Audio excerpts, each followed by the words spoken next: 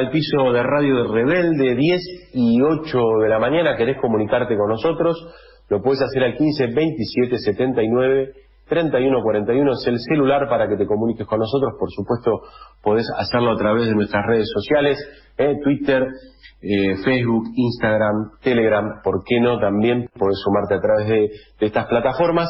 Y si hablamos de plataforma, eh, y hablamos de, cómo comunicarnos, eh, tenemos que hablar de la educación en la Argentina, que también es parte de la agenda, por más que eh, recién hablábamos de esta gran escucha que fue el gobierno de Mauricio Macri, o hablábamos de, por supuesto, algunas declaraciones de algunos exfuncionarios, también tenemos que hablar de qué pasa con la educación esta continuidad ¿no? que se da en este contexto de pandemia, donde los chicos están en sus casas, donde los padres somos como una, algo así, unos facilitadores que, eh, eh, también ayudamos en cuanto a la enseñanza, algo que no habíamos pensado nunca, que íbamos a, a ser parte de nuestros hijos, hijas, eh, y también los docentes, una nueva realidad donde tampoco se esperaba, y cómo se hace en un contexto donde, por supuesto, la desigualdad sigue existiendo, ¿no? No todos tienen acceso de la misma manera. Para hablar de esto estamos con Gabriela Dicker, secretaria de Evaluación e Información Educativa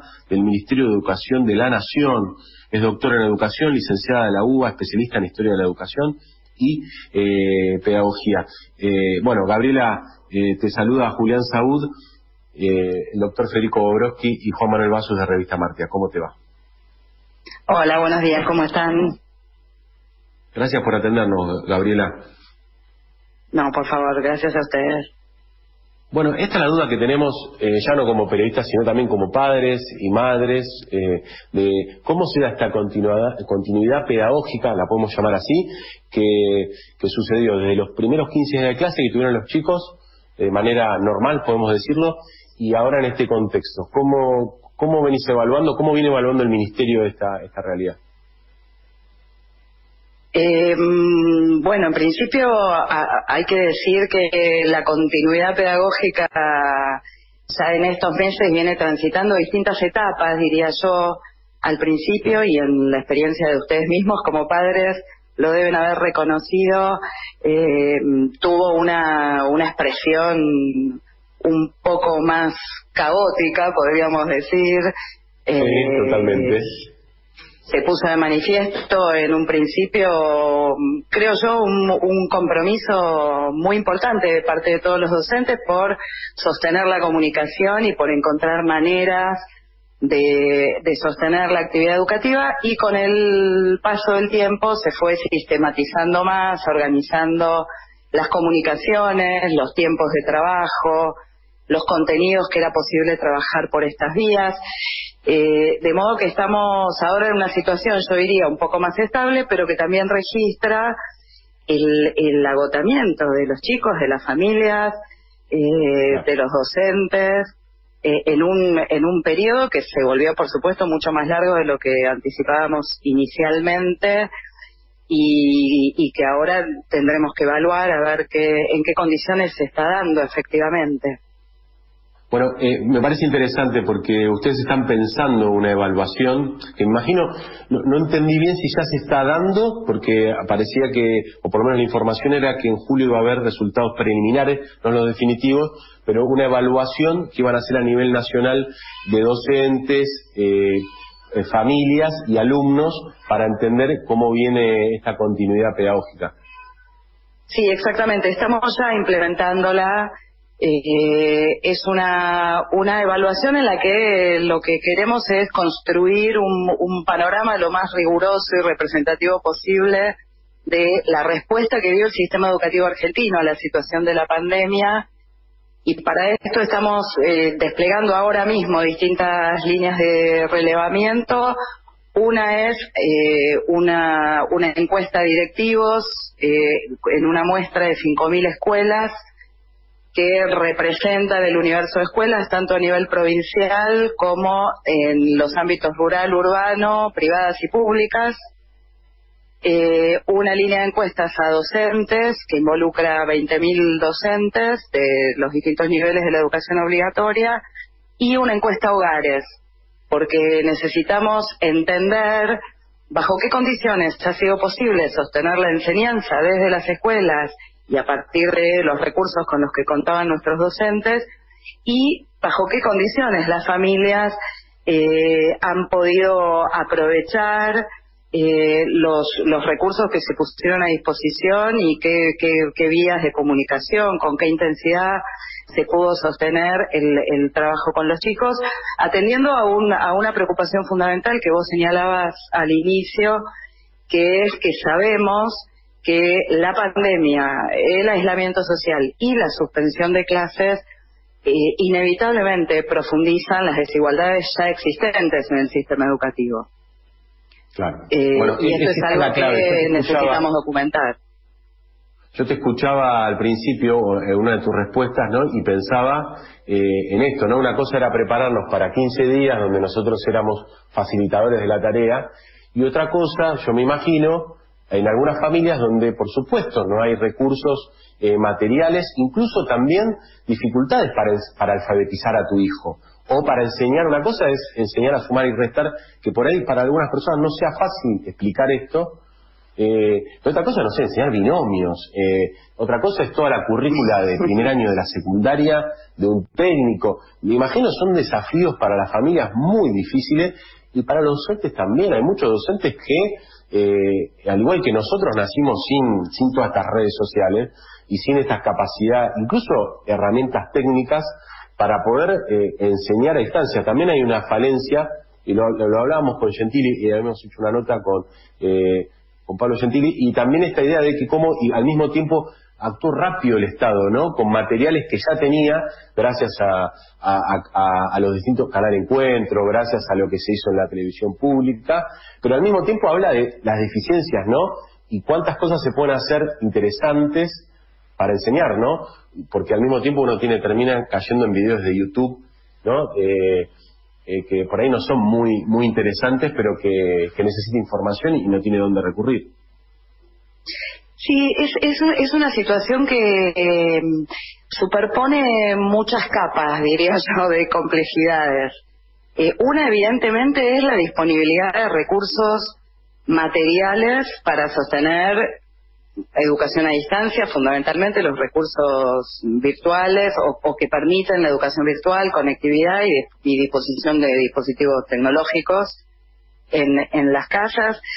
Eh, no podemos olvidar que la pandemia llega a la Argentina con el 51% aproximadamente de los mm, chicos en edad de la educación obligatoria bajo la línea de pobreza, Claro, claro. Eh, con lo cual tenemos ahí una, una primera cuestión que tiene que ver con si se dispone o no de recursos materiales. La otra es qué tantos recursos simbólicos eh, dispone la familia para acompañar la educación de los hijos, pero también, aún en el caso de familias o hogares con adultos a cargo, con niveles educativos incluso de nivel superior, no hay por qué suponer que los adultos a cargo en todos los hogares están preparados para acompañar no cualquier educación, sino una educación que todavía quiere ser comandada por la escuela. Claro. Porque no, no está en juego acá solo qué tan capaces son los adultos a cargo de los chicos y chicas para sostener actividades formativas, sino que es una actividad formativa muy particular, codificada de una manera particular, que es la actividad escolar. Entonces, eh, a esa complejidad le tenemos que sumar además algo que me interesa detenerme en una palabra que vos usás, que es deficiencia, en relación con la formación eh, de los docentes y de las escuelas para sostener esta modalidad. Yo me quiero detener en esta palabra porque mm, no creo sinceramente que debamos eh, calificar la falta de experiencia o de tradición en el sistema educativo argentino para trabajar sobre eh, exclusivamente en una modalidad educativa a distancia como deficiencia. En rigor, lo que tenemos acá es una situación completamente inédita, inédita en la historia de los sistemas educativos en el mundo, que es la obligación repentina de sostener eh, una forma educativa muy particular, que es la forma escolar, sin sus dos condiciones fundamentales. Una es el encierro escolar, esto es, es una forma educativa que transcurre con los chicos adentro de unas instituciones y una forma de organización muy particular del tiempo educativo. Entonces, creo que eh, tenemos, voy a decirlo así, que serenarnos en relación con las expectativas que tenemos respecto de lo que puede ocurrir en una situación como esta. Yo diría que, dado lo inédito de la situación, el sistema educativo argentino ha tenido una respuesta extraordinaria. Eh, y, y aún en circunstancias en las que los recursos materiales y simbólicos están distribuidos de manera muy desigual, el Estado ha salido a multiplicar los recursos en una escala que no tiene comparación con ningún país en el mundo en una escala, digo, en, cantidad de recursos, ¿no? Que es la producción de materiales impresos y la, el sostenimiento de una agenda analógica muy fuerte, muy importante, tanto en la televisión como en la radio. Estamos con Gabriela Dicker, secretaria de Evaluación e Información Educativa del Ministerio de Educación de la Nación, hablando de esta, esta situación y poniéndola en contexto. La verdad que Gabriela eh, nos ayudas a, incluso estas desesperaciones, ¿no? Que no sé si existe la palabra, no, nos agarran para poder ponerlo, ponerlo arriba de la mesa tranquilo y como si vos serenémonos y pensemos eh, todo lo que se hizo, ¿no? Eh, Juan Manuel Vasos te quería hacer una pregunta. Gabriela, ¿cómo estás? Buen día. Eh, te quería consultar por un, te, tengo una pregunta con dos partes por ahí. Eh, la, primera tiene que ver con que hemos hablado tantas veces en contra de las pruebas estandarizadas porque justamente terminan escondiendo las diferentes realidades que conviven al interior de nuestro país. Digo, ¿por qué en este caso una herramienta que le hace las mismas preguntas a un chico de Jujuy que a un chico de Lamba nos daría una este, un, buen punto de partida para una investigación? Y por otro lado, con si la muestra es significativa como para justamente identificar esas diferentes realidades y cómo pueden llevarse adelante desde cada una de las familias. Eh, sí, a ver, primero te hago una, una aclaración en relación con este proceso de evaluación nacional que estamos llevando adelante, y es que no incluye justamente pruebas estandarizadas de aprendizaje. Esto es, es una evaluación nacional de la respuesta que da el sistema educativo que intenta reconstruir fundamentalmente las condiciones bajo las cuales se ha sostenido la continuidad pedagógica en la Argentina, eh, esto en un análisis que se combina también con otra línea de la evaluación, que es una sistematización de las políticas, tanto jurisdiccionales como estatales, que se sostuvieron eh, durante este periodo, para poder en todo caso entender y documentar qué efectos se pudieron producir.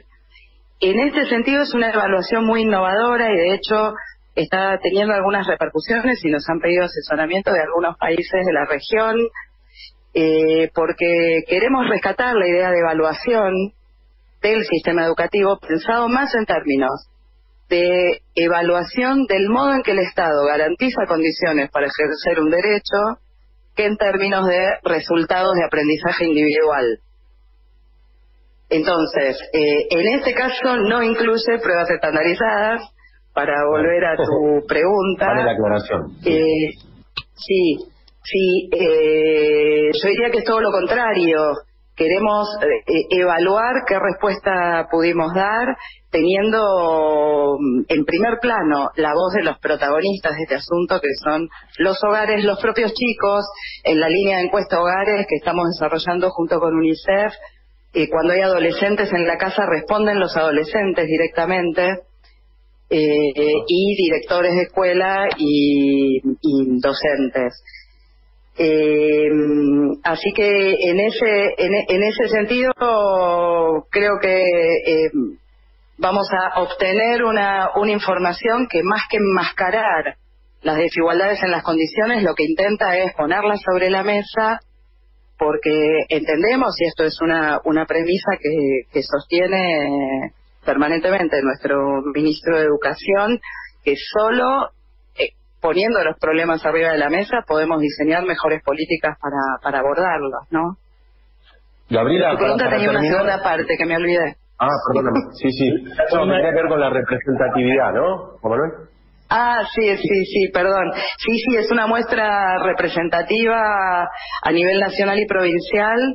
Eh, también va a ser eh, representativo sus resultados en el sector público o estatal y privado y en los ámbitos rural urbano. De hecho, estamos haciendo estas encuestas, que son encuestas en línea, con un seguimiento telefónico que nos asegure la sustitución de casos para asegurar la representatividad de la muestra.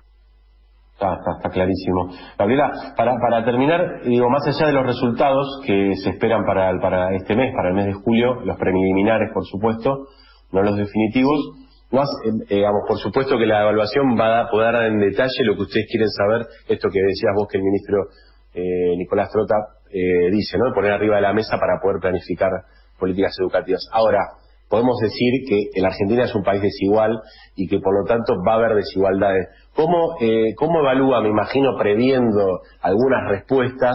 Eh, y además vos, más allá del rol que cumplís, sos, eh, por, tu, por tu currículum, eh, no, no necesitas que eh, decirnos que conoces sobre la historia de la pedagogía en la Argentina. ¿Cómo crees que se afronta esta situación, que por supuesto es inusual, eh, novedosa en cuanto a la pandemia y, a la cuarentena, pero que habla de las desigualdades de un país que, por supuesto, más allá de la respuesta que no sabemos cómo ni cuándo se va a volver a la, escuela, de alguna manera vamos a volver a la escuela en algún momento, no sabemos cuándo, pero ¿cómo, cómo se afronta esta desigualdad en la educación? Eh, Mira, yo creo que mm, tenemos que poder salir de esta situación con una escuela mejor que la que teníamos. Y esto puede sonar raro, eh, pero está claro que no vamos a volver a la misma escuela que teníamos y tenemos que poder decir que no queremos volver a esa misma escuela que suma a las desigualdades sociales existentes eh, formas muy específicas de producción de desigualdad. Entonces, no me gusta pensar que, que una pandemia como esta, que, ha producido tantas muertes en el mundo, es una oportunidad, pero tampoco puedo dejar de decir que sí es un momento eh, para definitivamente dar algunos pasos eh, en relación, por lo menos, con los mecanismos que producen escolarmente la desigualdad. Y acá hay algunas cuestiones vinculadas con los regímenes académicos que, sostiene nuestro sistema educativo, con definiciones curriculares, y con las formas de organización del tiempo y del espacio en la escuela, eh, que creo que deberíamos poder sacudir un poco. El problema de la desigualdad educativa es un problema muy complejo eh, como ustedes saben, como el de la desigualdad social en general, pero en, relación con, educación, me gusta citar un, sociólogo francés, Christian Baudelot, que hace unos años, y luego de 40 um, años de investigación sobre el tema, eh, escribió un artículo que se llama Lo sabemos todo, pero nada cambia. Y lo que dice es, a esta altura lo sabemos todo sobre la desigualdad educativa, pero no logramos moverla. Y me parece que esta es una situación en la que todo eso que sabemos tiene que estar a disposición de un conjunto de políticas que no pueden ser eh, eh, simples. Digo, no, no es una política que aborda una sola dirección. Definitivamente el problema de la desigualdad educativa tiene que ser abordado desde sus múltiples dimensiones al mismo tiempo al mismo tiempo, porque cuando el derecho a la educación está vulnerado lo están otros derechos. Eh, y por lo tanto creo que lo que nos espera la salida de la pandemia es un trabajo muy intenso para construir una escuela más igualitaria, dando pasos que el sistema educativo argentino hasta ahora no ha podido dar. Eh, Gabriela, y Muchas gracias por, por, permitirnos eh, parar un poco la pelota de la agenda cotidiana, que esto también es un tema muy importante de las familias eh, y, del sistema educativo argentino y poder ayudarnos a, a, poner la cabeza un poco en el agua y pensar eh, qué educación queremos y cuál, la que siempre quisimos cambiar, bueno, como bien decís vos por ahí, ante tantas muertes no hablar de oportunidad, pero bueno, eh, ante la posibilidad hay que hacerlo. Ojalá, ojalá vos y todo el equipo que hacen parte del Ministerio de Educación lo puedan hacer, Gabriela. Eh, un beso enorme. Gracias, gracias a ustedes por ocuparse de este tema.